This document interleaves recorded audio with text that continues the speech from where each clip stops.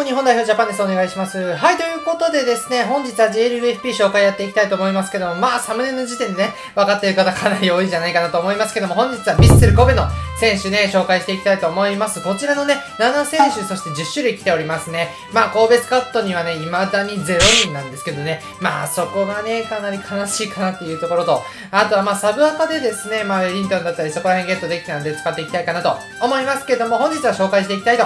思います。ということで、早速行きましょう。どうぞまずはディフェンダー編ということで、西選手来ておりますね。ということで見ていきましょうか。まあ、えっ、ー、と、左が、えっ、ー、とですね、昨シーズンのベスト11で来た西選手で、右が、えっ、ー、と、J リーグ FP で来た選手になっておりますけども、まあ、見ていきましょうか。えスキルはどちらのルーレット、ピンポイントクロス、マリージャ、インターセプトということで、プレイスタイルはインナーラップサイドバックですね。えということで、前回の方から見ていきたいと思いますけども、えボルコン91高いですね。で、フライパス、まあ、パス系能力もね、えかなり82、85で高いですし、ボディコン85、で、コンアの部分がね、かなりいいかなと思います。ね。後半6ということで、まあ J リーグの選手はね、後半というところがかなり低い設定になっているんですけども、西選手ね、え後半6しっかりあるというところもいいのかなと思いますが、え2回目のね、J リーグ FP ポトダブルの方はですね、まあボルコンだったり少しね、下がっているところはあったりするんですけども、こちらもですね、後半6だったり、まあスキルの豊富さ、ここら辺がいいかなと思いますし、まあ西選手どちらもね、足元あってね、えサイドバックの能力も申し分ないかなというところですかね。まあスキルにルーレット、ピンポイントクロス、ここら辺もね、ありがたいかなというところと、あとは適正ポジションが広いっていうところも一つ評価できるところなんじゃないかなと思います。ということで、この2選手をですね、比較した画像がこちらにになりますね。えーと、そうですね、ボットダブルの方で言いますと、スピード瞬発がプラス1プラス2で、スタミナがプラス1ということになっていますが、他とはね、えー、ほとんどマイナスなので、まあ、こう見てもやっぱり前回のというか、えー、ベスト11で来た西選手の方がいいのかなという印象ではありました。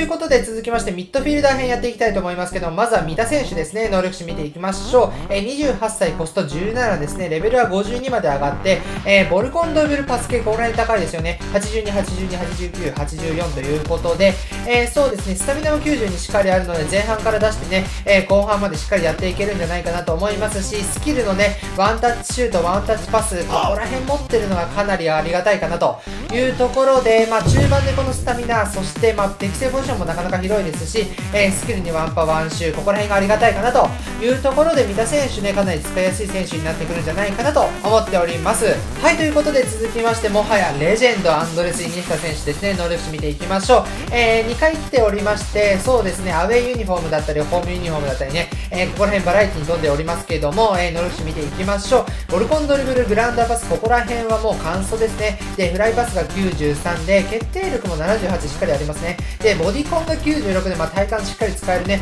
ドリブルも見せていけるんじゃないかなと思いますし、まあ、スキルのこの豊富さ、もうほとんど言うことないですね。まあ、プレイスタイルナンバー10ということで若干ね、使いづらいかなというところではあるかなと思いますけども、まあ、そうだな、あとはスタミナと根腕の部分がね、えー、ネックになってくるんじゃないかなと思います。ということでですね、この2選手の比較の画像がこちらになりますね。えー、完全に好みさんの手抜きということになっておりますけども、もう少しね、手入れしてほしかったところかなと思います。はい、ということで、フォワード編やっていきましょうか。まずは田中純也選手ですね。能力値見ていきましょう。えー、コスト15でレベルは51まで上がりますね。まあ、完全にバランスの取れた能力値というか、ここら辺かなりいいかなと思いますし、決定力もしっかり77ありますね。で、まあ、ボルコンドリブルパスケ、この辺はもちろん高いですし、キック力もしっかりあるです。スピッシュもかなり高いですね。83、84ということで、えー、スキルにワンタッチシュート追加っていうところもありがたいですね。で、やっぱりここかな、まあ、通常からね、スーパーサブ持ちなんですけども、やっぱり田中順也選手と言ったらね、ねスーパーサブ印になってくるんじゃないかなと思いますけども、適正ポジションが広いっていうところもね、一つ評価できるところではあるかなと思っております。はい、ということで続きまして、ウェリントン選手ですね。能力値見ていきましょうか。かなり強いですね。コスト23まで上がって、レベルは49ですけども、えオフェンスセンス86、決定力82、で、ヘディングとか、まあ、フィジカル系が高いですね。89、えフィジコンジャンプは92、92だったりね、えスピード瞬発もしっかりありますね。85、79ということで、まあ、今後の部分が一つネックになったのかなと思いますけども、えスキルにワンタッチパスがね、追加となったところはかなりありがたくて、ワンシューワンパー、ここら辺ありがたいですし、チェイシング持ってね、ボールダッシュもしっかり HP 65あるんで、えー、ここら辺でね、えー、ボールかっさらっていけるかなと思いますけども、ウェリントン選手に関しましてはね、えー、以前動画も出していますので、そちらの動画もね、ぜひご覧いただきたいなと思いますけども、はい、続きまして、ポドルスキ選手ですね。まあ、ポドルスキに関してはね、まあ、最近試合に出れてませんけども、まあ、手術とかもあったりね、えリハビリとかやってるんじゃないかなと思いますが、能力値見ていきましょうか。えコスト27で、レベルは45まで上がりますね。で、オフェンスエース、ボルコン86、87ですし、キック力95っていうね、まあ、この遠目から打つゴールがね、気持ちよかったりするんですけども、スキルにね、ワンシューだったり、ライジングシュート、ここら辺持ってるのも嬉しいかなというところで、コンアンさんっていうところ一つネックになってくるのかなと思いますが、ポジションの広さとこのスキルの多さ、ここら辺がありがたいかなというところで、ポドルスキ選手ね、まあちょっとね、使いにくいかなと思われる方も多いと思うんですが、オムとかにおいてね、えー、バンバンゴールね、決めていってほしいかなと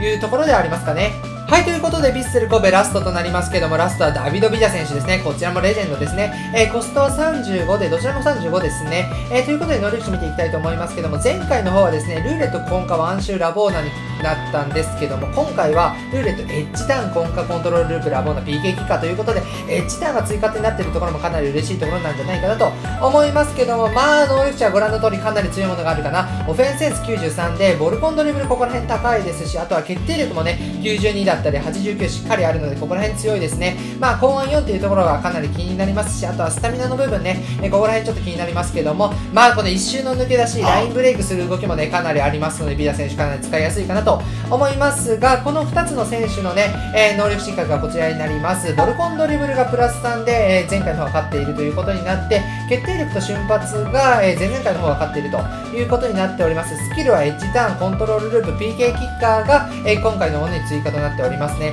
まあ、新しいビジャ選手の方がスキルが豊富だったりっていうところも加えるとね、えー、新しいビジャ選手の方がいいのかなという印象ではありました。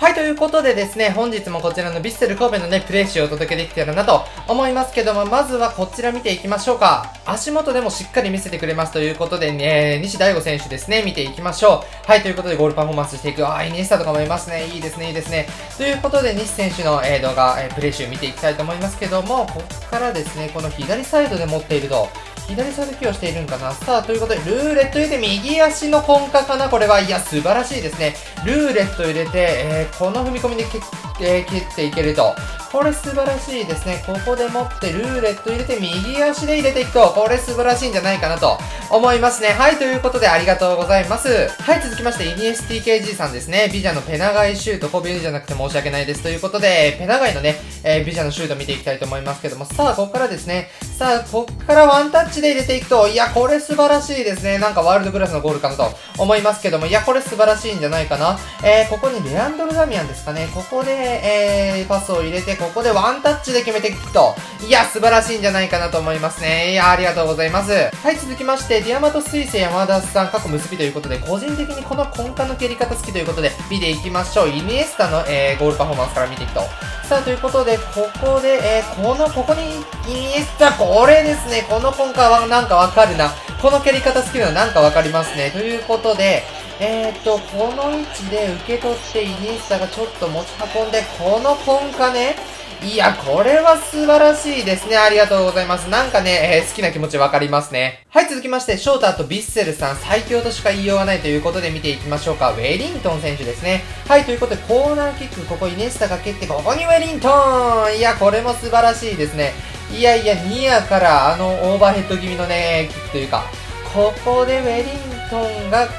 この左足ね、いや、素晴らしいんじゃないかなと思いますけども、まあ、バイシクルのような、えー、オーバーヘッドのような素晴らしいゴールだったんじゃないかなと思います。ありがとうございます。はい、続きまして、STRKY さんかなこれは素直にすごいということで見ていきましょうか。ということで、この STKRY さんで最後ですね、イニエスタ見ていきましょう。はい、ということで、えー、ここでもって、このイニエスタのこの根火ね、これはすごいですね。なんかデルピエロっぽいね、根火だったんですけども、